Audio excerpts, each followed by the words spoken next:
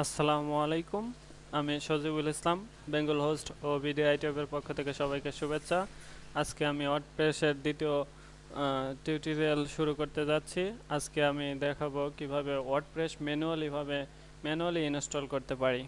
তাহলে চলুন, আমার এখানে সি প্যানেল আপনারা আগের পর্বে হয়তো দেখেছেন, আমি সি প্যানেলে লগ ইন করেছি অটোমেটিকভাবে ওয়ার্ডপ্রেস ইনস্টল করেছি। আজকে দেখাবো কীভাবে ম্যানুয়ালি ইনস্টল করতে পারি? তাহলে আমি সি আমার ফাইল ম্যানেজারে গিয়ে পাবলিক এইচটিএমএল থেকে আমার যে আগে অটোমেটিকভাবে ওয়ার্ডপ্রেস ইনস্টল করেছিলাম, সেই ফাইলগুলো আমি ডিলিট করে দিচ্ছি। যেহেতু আমি এখানেই আবার ওয়ার্ডপ্রেস ম্যানুয়ালি ইনস্টল করব, আমি ডিলিট ডিলিট করে দিলাম। এখান থেকে আর একটু আমি শো এই দুইটা ফাইল ডিলিট করতে হবে, তা না হলে সমস্যা করতে পারে। এখান থেকে আপনি জাস্ট সেটিং থেকে এখানে শো হিডেন ফাইলে ক্লিক করে এখানে সেভ দিয়ে পরে যে ফাইল দুইটা থাকবে দুইটা অথবা একটা থাকবে, ওইটা ডিলিট ডিলিট করে দিবেন। হ্যাঁ প্রথমে আমি ওয়ার্ডপ্রেস ডট অর্গ অর্গের যে সফটওয়্যারটা আছে সফটওয়্যারটা ডাউনলোড করি। এখানে দেখুন ওয়ার্ডপ্রেস ডট অর্গে এখানে এসে ডাউনলোড ওয়ার্ডপ্রেসে ক্লিক করবেন। এখান থেকে ডাউনলোড ওয়ার্ডপ্রেস জিপ ফাইল এটা আট এমবি সাড়ে আট এমবি ফাইল আমি ডাউনলোডে ক্লিক করলাম, এখানে দেখুন ডাউনলোড হচ্ছে। এতক্ষণ আমি একটা ডাটাবেস তৈরি করি। চলুন সি প্যানেলে যাই। আপনাকে ওয়ার্ডপ্রেস ম্যানুয়ালিভাবে ইনস্টল করতে হলে আপনি সি প্যানেল থেকে একটি ডাটাবেস তৈরি করতে হবে। এখানে দেখুন ফাইলের অপশনের নিচে যে অপশনটা আছে ডাটাবেস আপনারা দেখবেন ডাটাবেস লেখা আছে। এখান থেকে মাই স্কুল ডাটাবেসে চাপ দিন।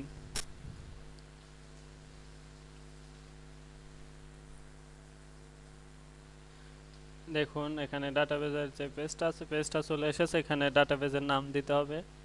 আমি দিলাম টেস্ট ডাটাবেজের নাম দিলাম টেস্ট আমি আবার ব্যাগে যাচ্ছি।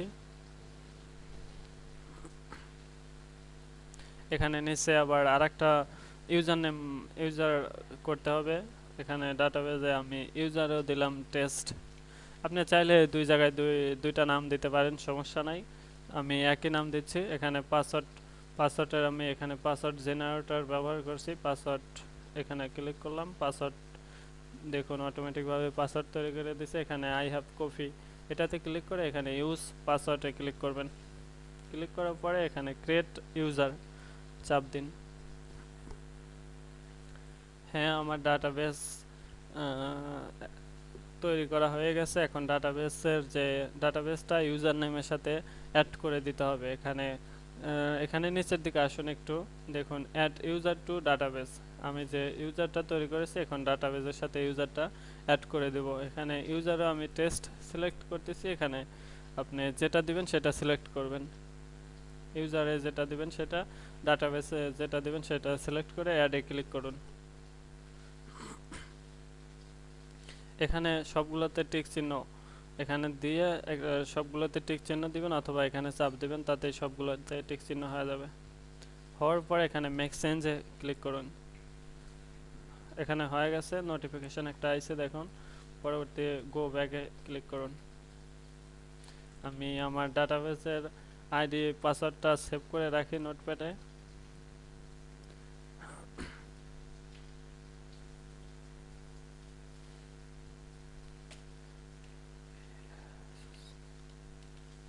পাসওয়ার্ড ইউজার নেমটা আমি কপি করে নেই।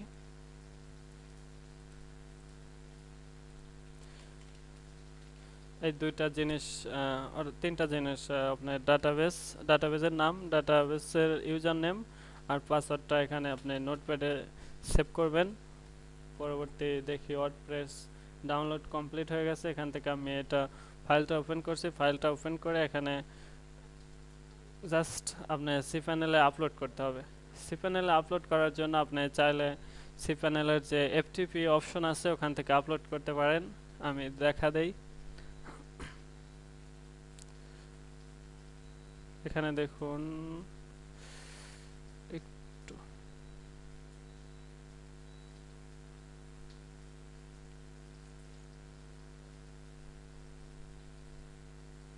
এই যে দেখুন, এখানে ফাইলের প্রথমে অপশন আছে এফটিপি অ্যাকাউন্টস এখানে ক্লিক করুন। ক্লিক করে এখানে একটি এফটিপি অ্যাকাউন্ট তৈরি করুন। এখানে আপনার FTP log in log in দিন। এখানে পাসওয়ার্ড দিয়ে একটা অ্যাকাউন্ট তৈরি করবেন। আমি যেহেতু আমার এফটিপির যে সফটওয়্যারটা সফটওয়্যারটা এখন নাই, তার জন্য আমি এখানে দেখাচ্ছি না। আমি দেখাবো ডাইরেক্টলি সি প্যানেল থেকে কীভাবে আপলোড করতে পারি। এখানে দেখুন সি প্যানেলে আস ফাইল ম্যানেজারে আসার পরে পাবলিক এইচটিএমএল চাপ দিবেন। পাবলিক এইচটিএমএল থেকে আপলোডে এই উপরে দেখেন আপলোড অপশন আছে আপলোডে চাপ দিন। এখানে দেখুন ফাইল সিলেক্ট করার অপশন চলে এসেছে। এখানে আপনি চাইলে সিলেক্ট ফাইলে এখানে চাপ দিলে ফাইলে যাবে। আমি এখান থেকে আমার যে ওয়ার্ডপ্রেসটা ডাউনলোড করলাম, সেই ফাইলটা সিলেক্ট করি। দেখুন মাই ডকুমেন্ট ডাউনলোড সরি ব্যাগে একটু এখানেই আছে ডাউন ফাইলটা। ওয়ার্ডপ্রেস নতুন ভার্সন ফোর আমি সিলেক্ট করে দিলাম। দেখুন, এখানে ওয়ার্ডপ্রেস আপলোড হচ্ছে। একটু অপেক্ষা করি। হ্যাঁ দেখুন, এখানে ওয়ার্ডপ্রেসের যে ফাইলটা আছে, ফাইলটা আপলোড কমপ্লিট হয়েছে, আমি এবার এখান থেকে এটা কেটে দিচ্ছি। দিয়ে আমি আবার ফাইল ম্যানেজারে এসে এখান থেকে আমি রিফ্রেশ এখান থেকে রিলোড অথবা আপনি আবার পাবলিক এইচটিএমএলে ক্লিক করবেন। আমি রিলোডে ক্লিক করছি। এখানে যে ফাইলটা আপলোড করলাম সেটা চলে এসেছে, এখানে ফাইলটা আনজিপ করতে হবে। আনজিপ করার জন্য এখানে ফাইলের উপর রাইট বাটন চাপ দিয়ে এখানে এক্সট্রাক্ট এখানে ক্লিক করুন।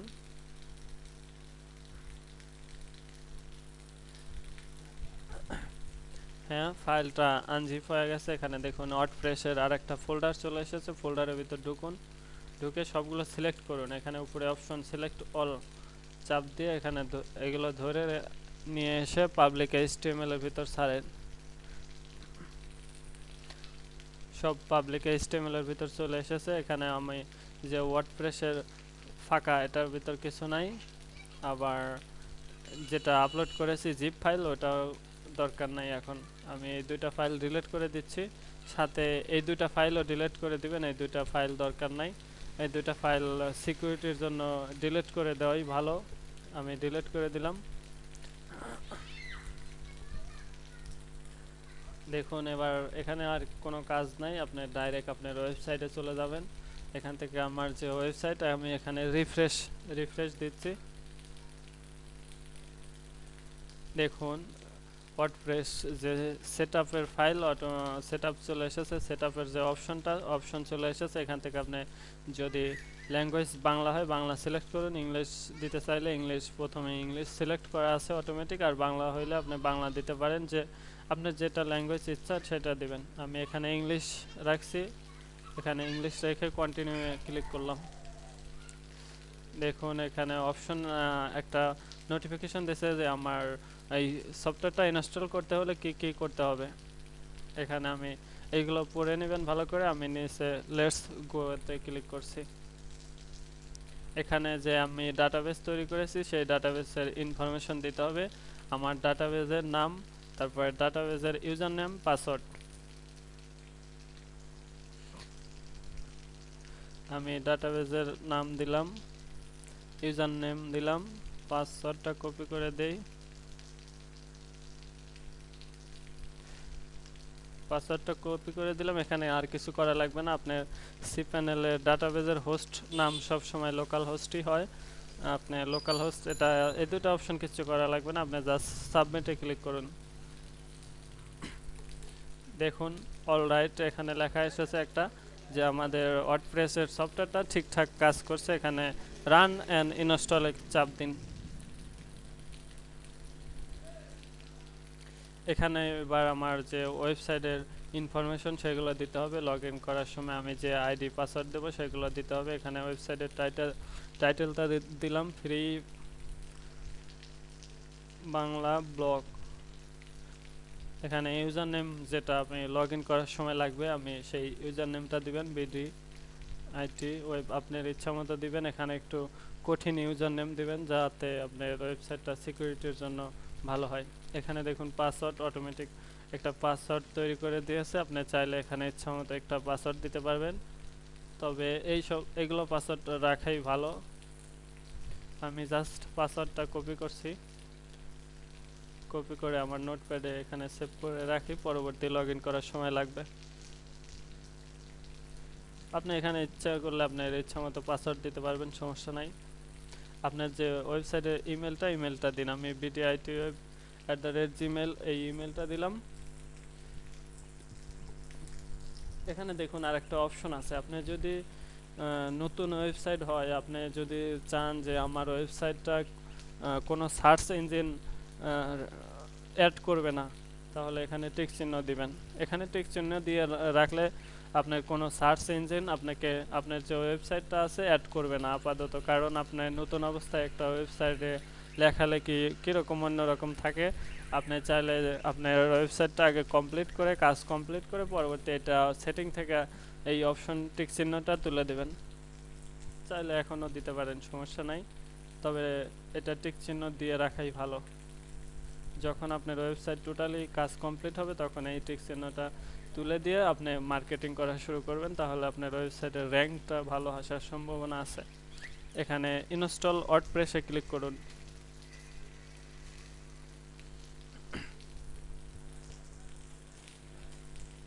একটু অপেক্ষা করুন। এখানে দেখুন সাকসেস একটা নোটিফিকেশন এসেছে। সাকসেস আমাদের ওয়ার্ডপ্রেসটা ম্যানুয়ালি ভাবে ইনস্টল করা কমপ্লিট হলো। এখন আমরা লগ করে দেখাই, একটু লগ করে দেখি আমাদের ওয়ার্ডপ্রেস যে ইনস্টল করলাম, ঠিকঠাক কাজ করছে নাকি? এখানে লগ ইনে ক্লিক করলাম। এখানে আমার আইডি পাসওয়ার্ডটা দেই। পাসওয়ার্ড দিলাম লগ ইনে ক্লিক করলাম। হ্যাঁ দেখুন, এটা আমার ওয়ার্ডপ্রেসের ড্যাশবোর্ডে নিয়ে এসেছে। আপনার ওয়ার্ডপ্রেস কমপ্লিট হয়েছে ইনস্টল কমপ্লিট হয়েছে, আমি একটু ওয়েবসাইট থেকে ঘুরে আসি, দেখি ওয়েবসাইটের কি অবস্থা। বিগোল ডট কম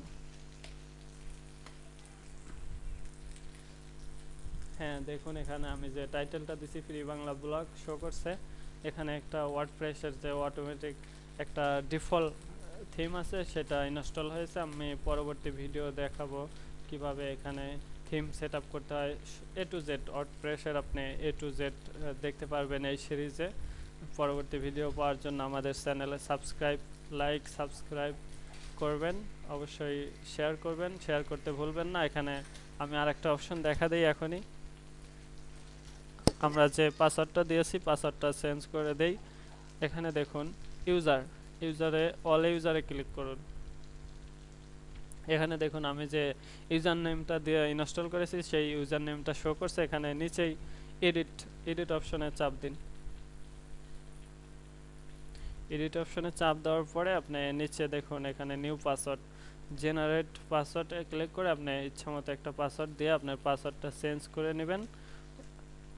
তো আপাতত এই ভিডিওটা এখানেই শেষ করব। পরবর্তী ভিডিও পাওয়ার জন্য আমাদের অবশ্য চ্যানেল অবশ্যই সাবস্ক্রাইব করে রাখবেন। আল্লাহ হাফেজ।